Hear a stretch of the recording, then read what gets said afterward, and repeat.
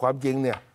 มีประเด็นต่อเนื่องสักเรื่องหนึ่งซึ่งความจริงอันนี้เป็นความรักการวูดวาดรูปตราครุด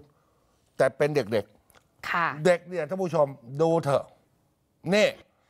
คือเป็นวิชาสอนเขียนจดหมายราชการนะคะ ทีนี้เพื่อความสมจริงคุณครูก็เลยบอกว่าให้เด็กๆเนี่ยวาดตราครุฑลงไปบนหัวจดหมายด้วย อะ เท่านั้นละค่ะ ก็ได้เห็นครุฑในได้เห็นจินตนาการความหลากหลายและค่ะ ฝีไม้ฝีมือของเด็กๆเนี่ยน้องใบร์ท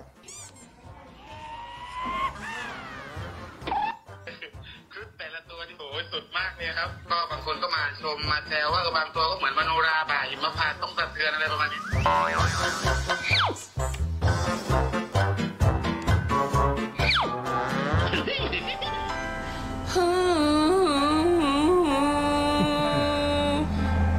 เย้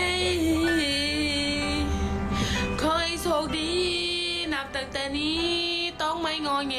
ดูแลตัวเองให้ดี ฉันไม่เป็นไร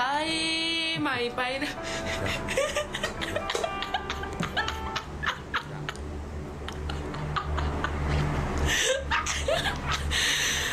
นักดนตรี